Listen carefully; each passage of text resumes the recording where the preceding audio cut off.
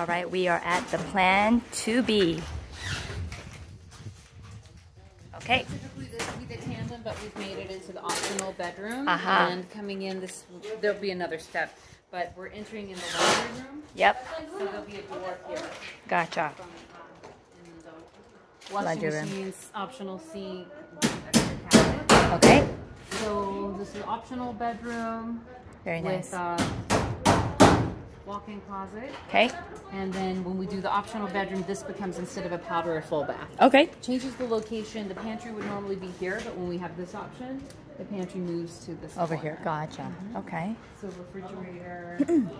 and now again. Yep. um, this plan and the last plan, not uh, the first plan. Mm-hmm. Sorry, can do the super island where it goes out further and has cabinets on this side. Okay. That's available. Um, we have the option to extend cabinets all the way down, Yep. and then our dining room right here in front of the slider. Sliders. Yes.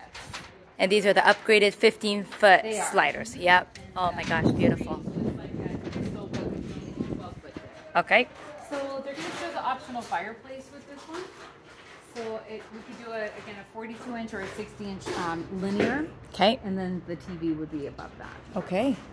And it looks like when we do that, we have a couple of um, art niches or Mm-hmm. something. Very nice. And then the primary suite, we have a linen closet entry, again optional door, Mm-hmm. TV wall, Yeah. headboard wall, and a little transition into the bathroom. So again, you have your water closet, the big shower, Yeah. double sinks with the Beautiful.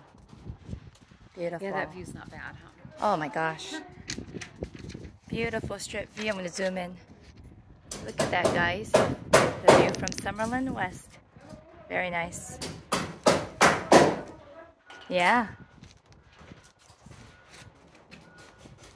Beautiful. So anyone who really needs to maximize their bedroom count, this is the plan. Mhm. Everything's under one roof. Right.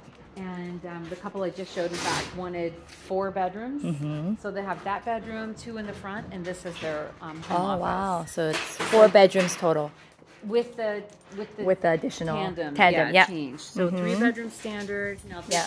we even do five bedroom, but I've never had anybody do that. Yeah, right here. Um, there's a few different things. So you can extend the master closet back Yeah. and make it deeper and just shorten this area. Right. So it just depends on how they really want to use Okay. And then we have two bedrooms in the front.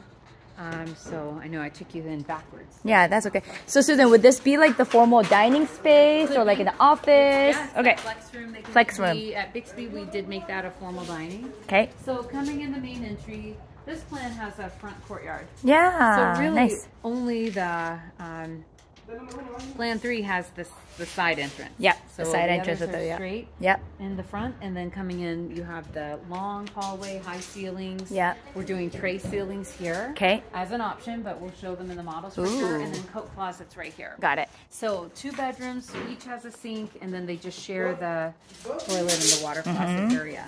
Beautiful. This could also be a home plus. Yep. Bedroom, living room. Yep. absolutely. And then we lose the coat closet. Yeah. Mm-hmm. So those home pluses are like the next gen suites. Mm-hmm. Yep. Yeah. Beautiful. I love that. Okay, you guys. I'm excited too. All right. Keep watching for more.